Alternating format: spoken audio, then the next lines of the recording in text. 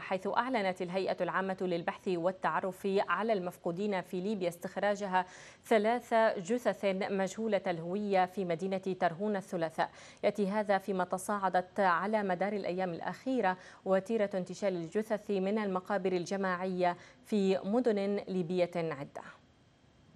من المقابر الجماعية في ترهونة يلقي إعلان هيئة البحث والتعرف على المفقودين في ليبيا انتشال 11 جثة جديدة مجهولة الهوية في اليومين الماضيين ثقلا مضاعفا على الحصيلة الأليمة التي تضمنها تقرير رابطة ضحايا ترهونة لعام 2022 فتقرير الرابطة يتحدث عن استخراج 268 جثة من المقابر الجماعية خلال ثمانية أعوام بينها 25 على شكل أشلاء ويرصد 155 عملية قتل خارج نطاق القانون و95 حالة اختفاء قسري.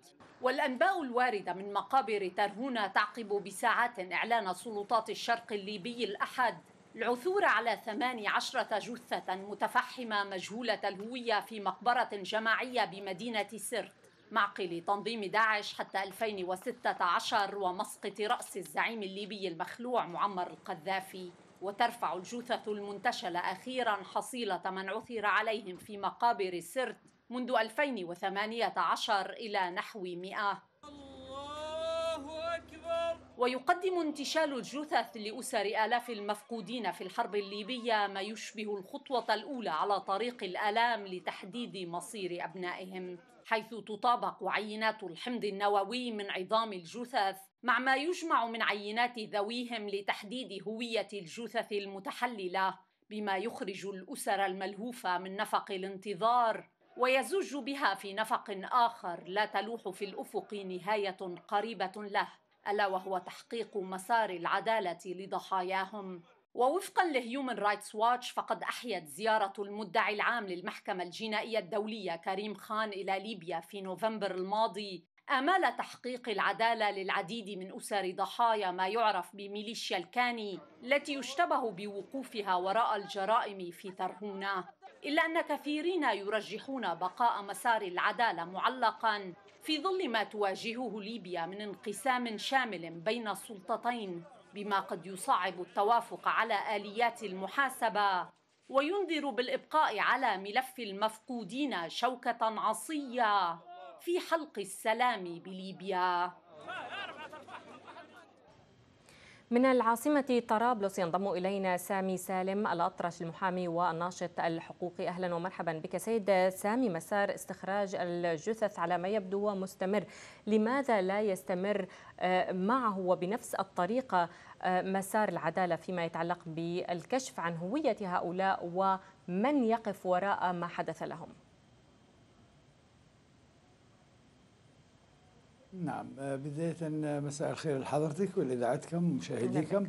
آه، بالفعل هذه الجرائم ضد الإنسانية وجرائم الحقيقة التي أعابت الحقيقة عام 2022 ووصفته بأنه عام بالفعل عام حزين في ليبيا باعتبار أن مسألة المقابر الجماعية لم تعطى العناية الكافية رغم تشرفي أيضا كأحد أعضاء النشطاء المدنيين بمقابلة السيد رئيس المدعي العام للمحكمة الجنائية الدولية. إلا أنني أرى أن ما زال المجتمع الدولي لم يتخذ من القرارات الدولية ما يمكن السلطات في ليبيا بأن تقوم بمهامها بالشكل المطلوب خاصة فيما يتعلق بالشق الجنائي وطلب استدعاء الكثير من المتهمين والذين يتواجدون في الشرق الليبي للأسف الشديد حتى الآن وهم متهمون آه، بالذات آه، عائلة الكاني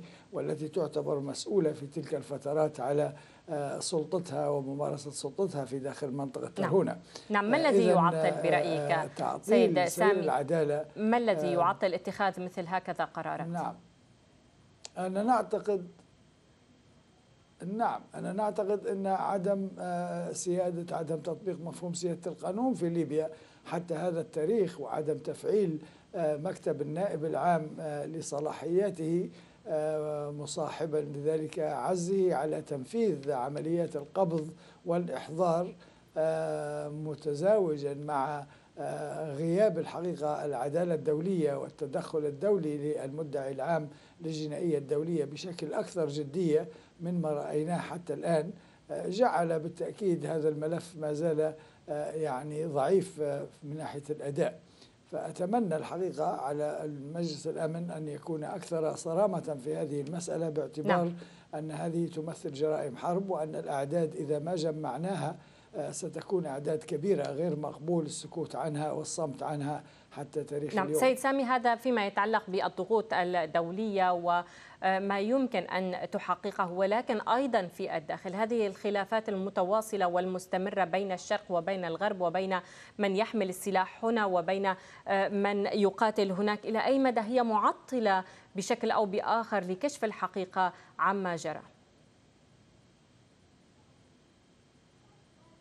بالتأكيد هذه الملاحظة يعني في محلها آه، آه، يعني الصراع السياسي على السلطة في ليبيا آه، بالتأكيد حال دون إعطاء هذه هذا الملف وملفات أخرى أكثر ربما حتى هي لا تقل أهمية إن لم تكن أكثر عجز كبير في تحقيق العدالة لأن السلطات في ليبيا ما زالت في حالة انقسام وصراع وحالة عدم الاستقرار السياسي بالتأكيد انعكست على النشاط القانوني والقضائي في ليبيا آه، وأصبح هناك عز في تنفيذ أوامر آه، مكتب النائب العام آه، بالقبض والإحضار لكثير من المتهمين الذين هم معروفون اسما وتحديدا وهوية ومعظمهم متواجد في المنطقة الشرقية للأسف الشديد.